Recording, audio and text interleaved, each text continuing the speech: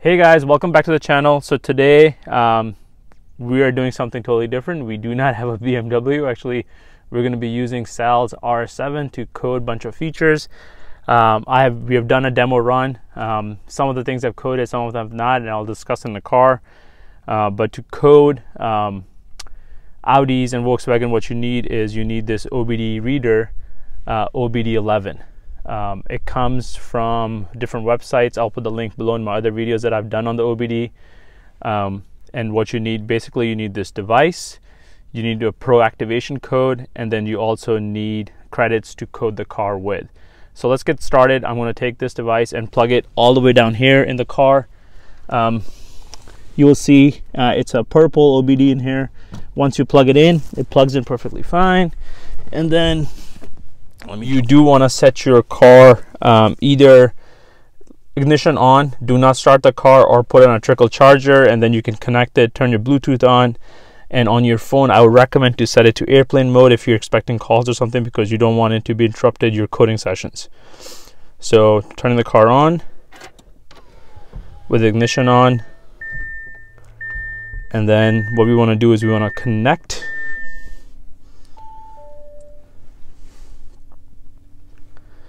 Um, as, since my Bluetooth is already on, it's giving me option of OBDeleven, so I'm going to select that option of OBDeleven. Here it does take some time, about 20 to 30 seconds, so don't be alarmed. Uh, if you haven't set this up, it's going to try to connect your Bluetooth, then it's going to ask you for your car, then it's going to ask the specs of the car, for example, A7, RS7, R7, A6, and so forth. So do that setting initially. Once you do it, it saves it and it stores it like it has stored it here.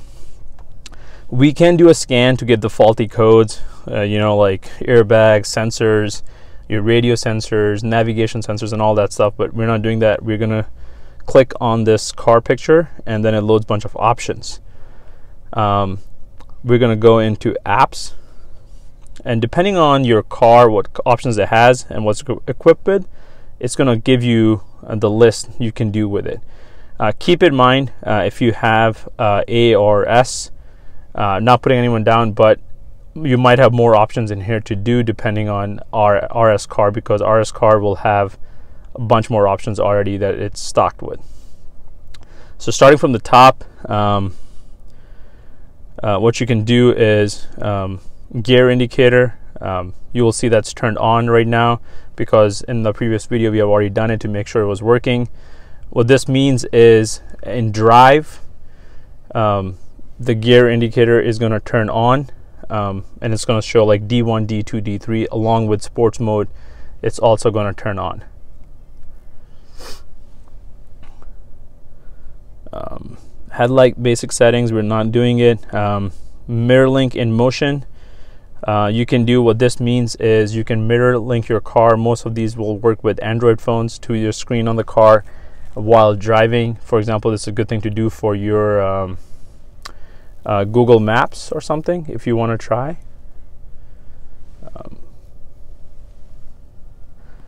so I have done this already, so that's why you see it turned on uh, and it uses 100 credits.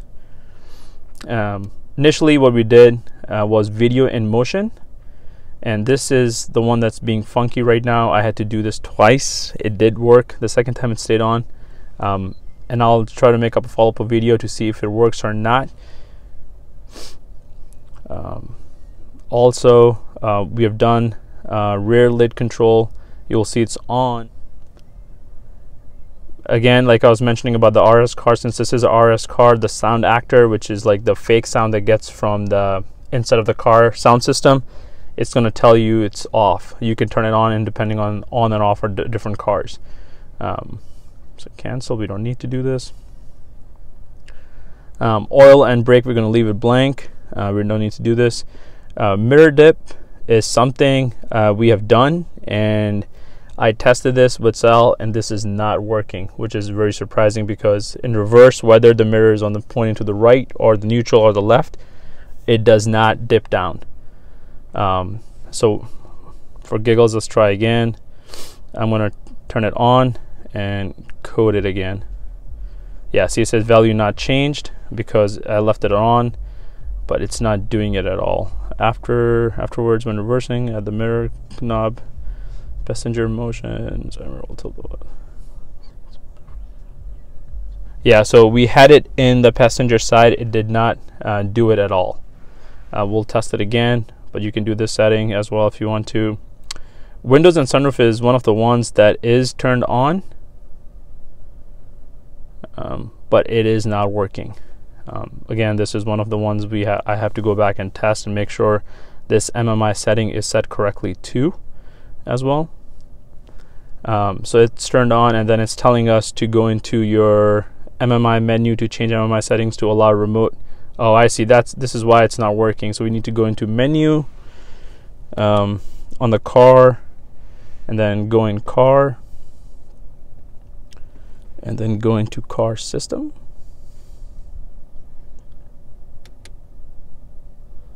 Okay.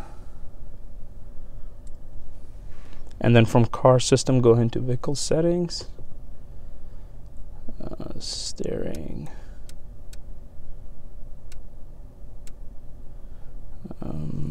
Center locking, central locking. Press that. Long press to open windows, door unlocking. Okay, so the first one talks about that. Okay, so the reason it was not working on the remote when we were testing it because in your MMI setting it's not set. In order to do that, I think you click on front windows, um, you can click on rear windows and then you can click on roof. Um, this will show you that's done and then depending on your options, if you only want to do front windows, you can do change it later and then go from that way. But for now, I'm going to leave it all three and we'll show you how it's done. Um, mirror dip. To see this again. The vehicle have seats with memory position.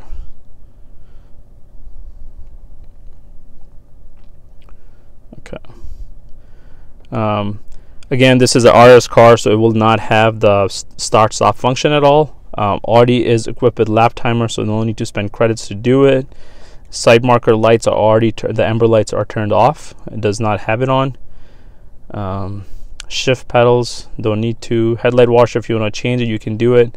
But um, a lot of people have done this, but I believe all the RS cars, RS3, 4, 5, uh, 6 and 7 come with a needle sweep. So you don't need to waste credit on here. As you can see it's turned on already. And then uh, Euro parking lights um, this I tested um, it's set to off but depending on the parking lights when they're on I do see this on. So left it like that and not change it. If you guys want to change it you can change it and then go from there. The last one is seatbelt warning uh, I know a lot of people I know would like to turn this off, but I recommend leaving it on. Safety is first concern, right? So safety matters.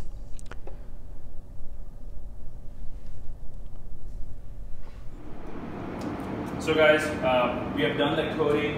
Uh, a couple of things that I do still have questions about that I do not like how it's done in OBDeleven. But what I wanted to show you is how to roll the windows down. We coded it so the windows would go down and go up, but up is not working and I'll show you how because if I unlock it and hold it down the second time, windows go down. It's down, the sunroof is open. But if I lock it and hold it, it doesn't go up. Whether I do it two times, three times, uh, four times, one, two, three, four, it doesn't do it. Even if I do it the first time and lock it, it doesn't do it. Um, and the only way I was able to do it with a key, but I, at the same time what I want to show is if you hold the remote, the trunk will open all the way through. I can use the button in the door handle to do it, or you can hold, tap the trunk button once on the key fob and it's going to close the remote as well. Um, but to close the windows and the sunroof, uh, what I found out is you have to actually use the key and lock the car, which is standard feature. Um, and then the second time, it should roll all the windows up.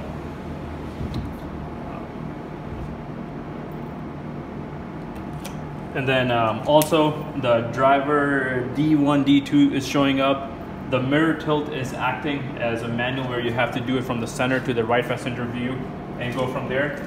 Uh, stay tuned. Uh, next up, we're going to be doing a long coding uh, with this same car and go from there. Thank you guys for watching.